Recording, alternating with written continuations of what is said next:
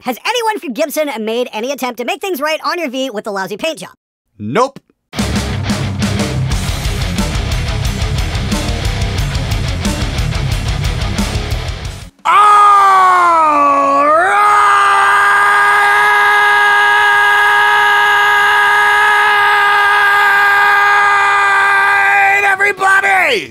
How the hell is it going? It is Friday. It is time for SMG viewers' comments.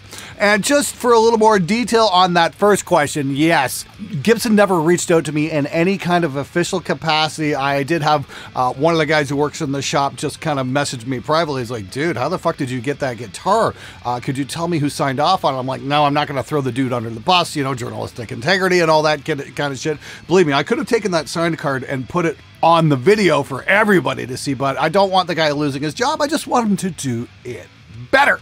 Anyway, this is SMG Viewers Comments, the show that's about you, not about me. So let's get to your comments and questions right now. We're also going to have something coming up in a couple minutes about extinction level event. I think the hate for shitting on Gibson is an artifact of fear. Gibson are worth money. They are something like an investment. Like it or not, they hold value to some degree. When you shit on Gibson, people are viewing it as an attack that could devalue their investment. This is especially salient when it's an influencer like Glenn. Sorry, Glenn, you're an influencer. I could be wrong, of course. What the hell do I know? You might have a very good point there, TT. Yeah, this is the thing. I've never quite understood the vintage guitar market at all. You know, you see these old Stratocasters. Oh, Eric Clapton vomited on this one, so it's worth $300,000. I'm like, really? I know KK Downing sold a bunch of his vintage guitars uh, to pay for his golf course. You know, he had an old 57 Flying V that wound up on an awful lot of classic records. And, you know, I know he sold those for, you know, hundreds of thousands of dollars and shit like that. And I'm just like, I don't fucking get it because it's still a piece of wood with some, some pickups and some strings on it. That's it the reason why these things have value is because of perception, because the greater community at large perceives the, these to be more important than the regular models for whatever reason. And uh, again, it makes absolutely no sense at all. Rarity maybe being one of the things I'm sure there's not a lot of 1957 Gibson Flying Vs kicking around these days. So yeah, I, I understand that, and believe me, I I put that Mustaine V up for sale because I just didn't want to go through the whole hassle, returning it, border bullshit, and all the rest that goes along with it. And I found a local buyer, and yeah, it went really fucking quick. So that that is absolutely true that Gibsons are worth money, especially on the resale market. And believe me, even with the crappy ass paint job, it went fast. And I'm still scratching my head. I'm like, fucking really? Are you serious? But it is what it is. That is the situation. So just remember if you are an investor who's hoping to flip guitars for profit, Gibson's probably your brand. If you're a guitar player who wants a great instrument and doesn't want to break the bank, I'd say look elsewhere. Actually, something I was curious about is how do you mix speakers in a cabinet? Like, do you look for complementary frequencies, similar responses, or is it just trial and error? Appreciate the great content. Keep up the great work. Tim. Hey, Tim. Yeah, unfortunately for me, anyway, it's just a whole bunch of trial and error. That's how I learned how to mic guitar was trial and error. I made an awful lot of errors first before I found something that worked. And yeah, when we're doing speakers, that's really what it comes down to is how well does one speaker sound in one particular cabinet and what happens if I try blending it with other things. I mean, that's how we found that crappy ass Behringer cabinet that I picked up for a whole whopping 100 bucks Canadian. We dropped in some Celestion Neo creambacks and they sounded incredible.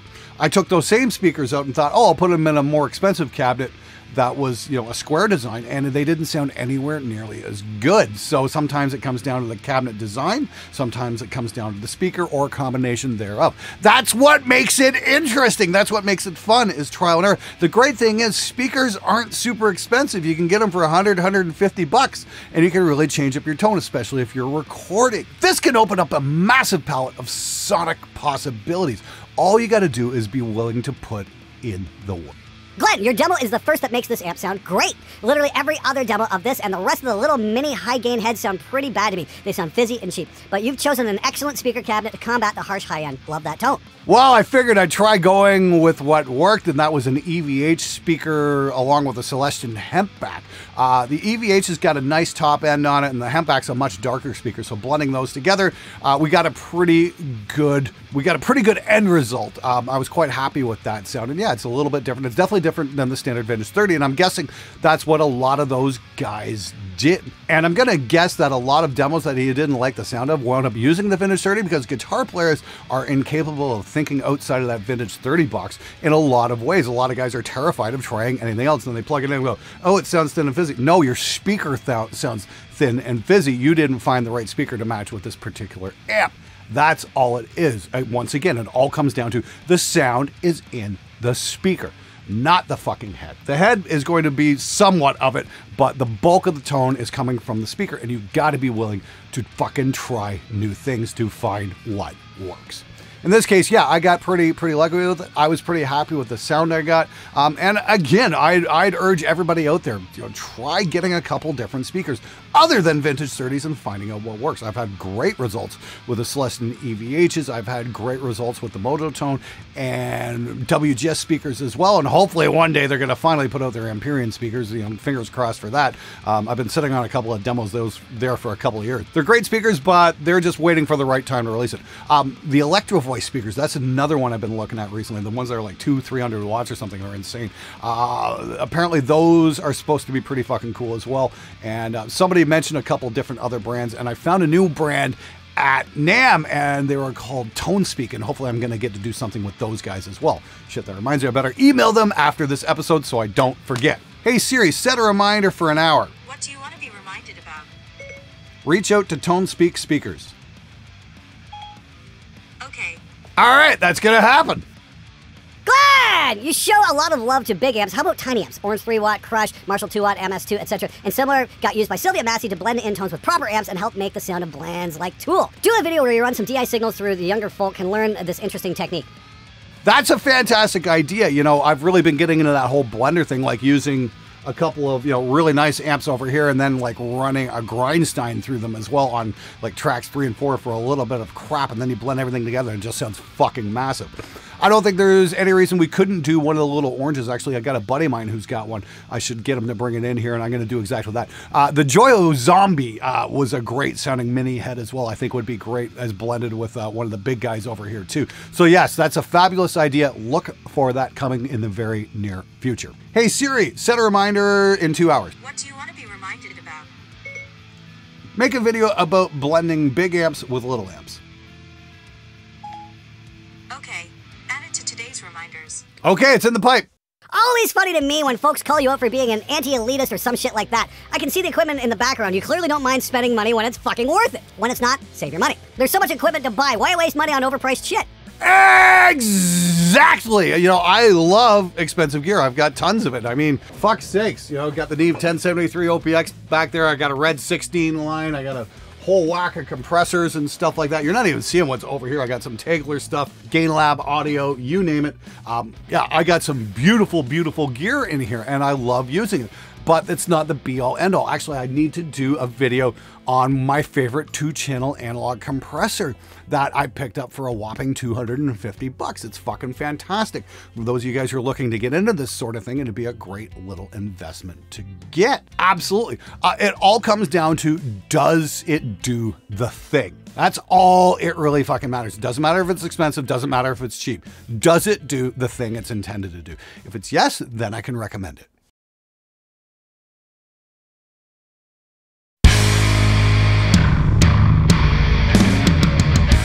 Right, guys, I have been dying to tell you about this one forever, and it is now finally available. Extinction Level Event.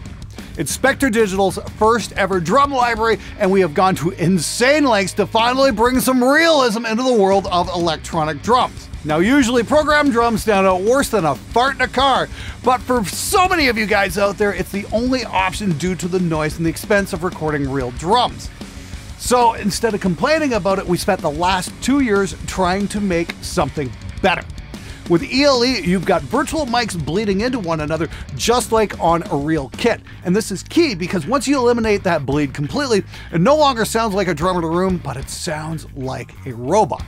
We've got numerous subtle articulations on the kit elements, so it sounds like a drummer actually playing. What's more is we've got presets ready to go out of the box by myself, by Jackson Ward, and Jordan Beal. Just loaded up, and you've got a massive studio sound ready to go with no extra mixing required. But if raw sounds are your thing, it's also got a multi track output so you can process it just like you'd mix a real kit.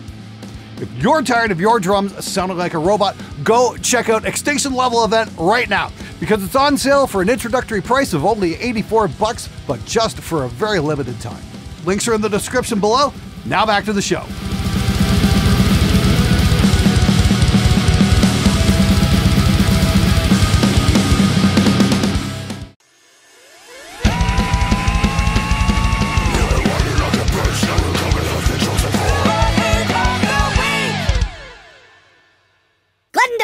Chinese slave labor once again while claiming U.S. companies don't pay a living wage. At least the Chinese children get a living wage when you consider they only need the bare minimum of food to survive. Edit. Who wants to bet Glenn won't say anything bad about Chinese working conditions because Harley Benton pays him to promote their guitars? God forbid you lose a sponsor.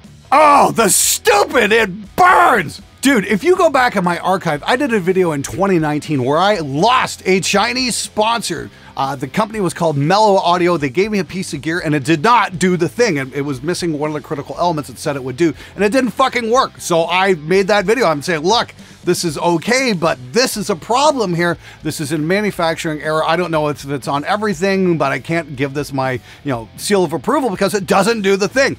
I lost that sponsor because I wasn't going to sit here and tell you guys otherwise. Oh, go buy this, it's awesome. When it's not. That's just not my fucking wheelhouse. Look, I've heard a mixed bag about Harley Benton, so I'm actually going to order a couple of guitars in here, but I'm getting a friend of mine to do it because I don't want to take chances on quality. I want to get the real story about what's going on with Harley Benton, not just, you know, their A models or whatever. I want to get the consumer experience. So that is going to be coming up. You could call Chinese slave labor that kind of thing. Oh, at least the Chinese can afford food. Yes, but American workers, a lot of them can't because the cost of living has gone through the fucking roof the last couple of years. Are you aware of basic economic principles? Supply, demand, and inflation? No? Have you ever opened a book before in your life and maybe studied a little of this? Try that, you dumb shit! Labor in the United States and Canada is in a very precarious position right now because large corporations have gone and bought up all the available housing, driving up the value and therefore making housing unaffordable. And that drives up the prices of everything else. Gas has gone up as well. So if you're going to drive yourself to work and you're only making $17 an hour, you've got a choice between, you know, being able to drive to work, paying your rent, or eating. That's not really a good life now, is it? Very good video concept of the video itself, but whoa, the egregiousness, cursing, and insults has become quite extreme. I mean, I love that type of humor, but to overdo it turns it a tad unfunny. Well, I'm very fucking sorry I use some fucking profanity every now and then. I don't know, maybe get over yourself. Spot on regarding quality. The UK motorcycle market was decimated by the higher quality Japanese bikes in the 60s and 70s. The Gibson Sims need to realize that made in the USA means nothing when they're using CNC machines to cut the guitars up. Man, there is some fucking truth there. Here's the thing you've always heard the phrase, those who don't pay attention to history are doomed to repeat it. And I think that's happening in the guitar market. I mean, like, we saw that happen in the auto industry in the 60s and 70s. He's absolutely right. Localized, apparently, was the bike market in the UK. But I mean, like, the North American auto industry got its ass kicked by the Japanese in the 70s, especially because they made cars that were much more fuel efficient. Were they higher quality cars? Yes, yes, they were. Because in the 70s, especially North American auto workers got complacent and lazy. So yeah, to see the same thing happening in the guitar market is kind of sad. Now that's not saying every American manufacturer is making crap guitars. Far from it. I just did a review on the Fender American Ultra and it was fucking magnificent. It was really great. And you know, even that Gibson I reviewed, you know, played fucking amazing, but the the fit and finish weren't that great. So hopefully they can step it up a little bit. Competition is fierce these days. And yeah, a lot of guitars are coming off CNC lines. And so there's no real difference where it comes from. It all comes down to does it do the thing and and if you're paying a premium for a guitar does it meet the price point of a premium instrument i know i'm going on and on and on about this over the last few weeks but it's like i had so many great comments come in i feel i need to address some of this because it's funny as hell So here's the deal Gibson in Memphis is only paying 15 to 17 an hour for techs building expensive guitars. I really think if they paid more to employees, then the instruments would be better. And if anyone could validate the claim that Gibson fired everyone that was working there for decades and hired inexperienced people, let me know. Okay, I'm going to stop you right there because that screams disinformation. I've been talking to a couple guys at Gibson that's not 17 an hour, it's more like $20 an hour. That's a lot better. That's kind of more what you'd expect, but if, then again if you're charging $3,000 for an instrument, maybe those guys should be making, you know, 25 to $30 an hour so they would actually really give a shit. That I've heard this thing over and over again. Oh, nobody wants to work, nobody wants to work. No, nobody wants to work for the shit wages you're paying. Did you try paying people what they're worth, especially in today's job market and real estate market? Did you pay them a living wage? If the answer is no, you've got your answer as to why you can't find anybody to work for you. And if paying people a decent wage is going to put you out of business, then you've got a failed business model. That's how that works. Now, about your point on them firing everybody who knew what they were doing to replace with inexperienced people, I'm going to call you out right there and say I think that's a whole load of bullshit because I've read nothing to validate that claim. Um, if somebody has some some evidence or whatnot, that's a bit different story. But that's kind of getting into the Fox News territory of absolute fucking bullshit, and I don't want this show to be about that. Bottom line, though, if you're going to make a claim like that, you'd better be able to back it up and not just go, "Well, hey, I think no, no, I think isn't good enough." You'd know before you make that kind of accusation. Glenn! Since you're known for busting metal bro science myths, I wonder if you're interested in tackling one of the always sounded bullshit to me like it's conventional wisdom. The whole single pickup guitars sound better because there's less magnetic pull and therefore more harmonic purity. Sounds fake to me, but you're the expert. Maybe have the guitars with identical bridge pickups, one with only that pickup, one with two pickups, and see if they sound different and or have different EQ profile. Inquiring minds want to know. Good stuff as always, man. Thanks and fuck you. Ah, dude, I really don't know about that one, man. Um, it definitely smells like bullshit, but I mean, like, how do we measure that? That's the big question. I've got one pickup versus two pick harmonic. What? Who the fuck even comes up with this shit? Now, I know active pickups were invented to increase sustain. They had less magnetic pull on the strings, and then were amplified there after they had a little preamp in in the guitar cavity, and those are cool. Yeah, those can sound really great. EMGs worked great for thrash metal in the '80s, absolutely. But to say harmonic purity, yeah, that kind of smells like bullshit to me, my friend. Guitar players repeating bullshit? No, that never happens.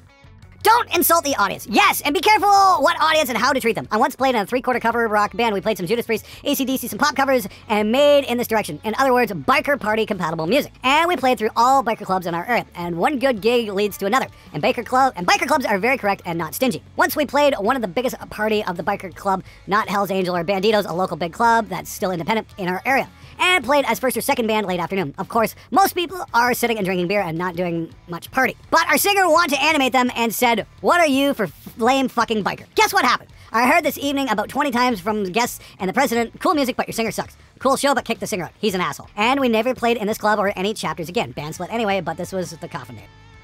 Here's the thing, man. Yeah, when you go up on stage, you need to be professional and you need to be aware of your audience. Yes, generally, a good rule thumb is if you're playing for a party for bikers, do not insult that audience. Your singer's lucky he didn't get the living shit beat out of him. Seriously, that's not cool. That whole culture is based on respect. You know, I saw something similar back in the 80s where, you know, the, the audience wasn't quite getting as active, but, and the singer just said something like, okay, you guys are sitting over there getting fucked up. I can respect that. That's the appropriate approach. Not, oh, you guys are fucking lame. Oh, fuck. What a dumbass. Anyway, hopefully you did kick the guy out as soon as fucking possible for that one. No one really gives a damn how good your riffs and gear are if your show is boring. Consider the audience. Absolutely, man. Uh, we're going to explore this concept in an upcoming video. It's going to be an awful lot of fun. But yeah, I think guitar players get caught up way too much on gear and riffing and all the rest of that crap and forgot the one core thing about putting on a rock show is be entertaining. Do that first. 90% of the time I'd agree with you, but I have done some shootouts of converters and I hear a big difference in 3D and depth between converters. What units do you measure 3D and depth in?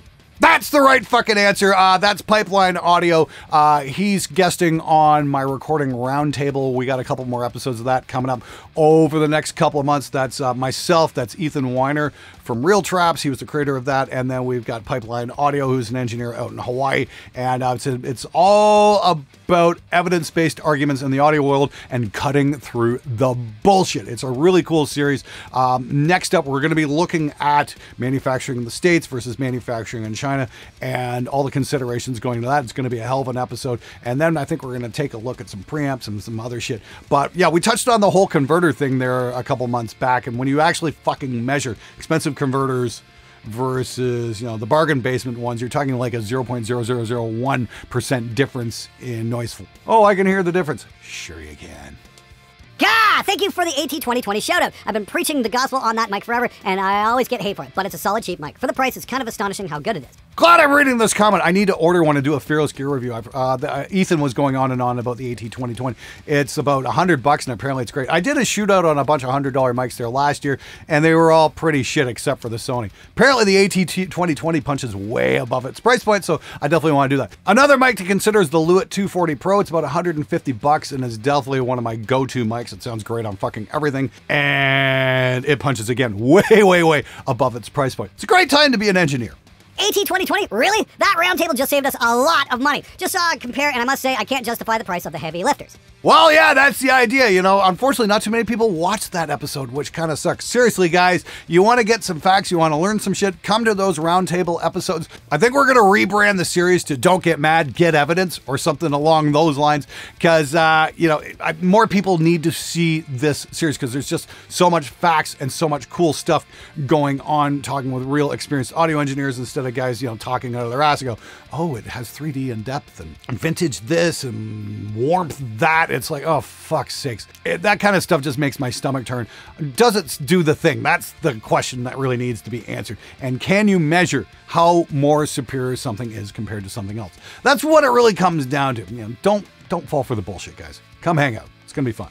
If you're going to be a fucking rock star, go be one. People don't want to see the guy next door on stage. They want to see a being from another planet. You want to see somebody you'd never meet in ordinary life. Let me Lemmy Kilmister. Yeah, I'm pretty sure he yelled it. If you don't have one of those guys fronting your band, that's why nobody's coming to your show. All right, everybody, that's it for this episode. Thanks so much for watching. Once again, Grow Grab Extinction level event for all you guys who are playing electronic drums at home or doing desktop produced music, that kind of thing, and just can't record a drum set. It is going to be one of the most realistic program drum libraries you will ever get to play with. It's on sale right now. Links in the description below. Go check it out. All right, until next week, Hasadigi Ibwe, my friends.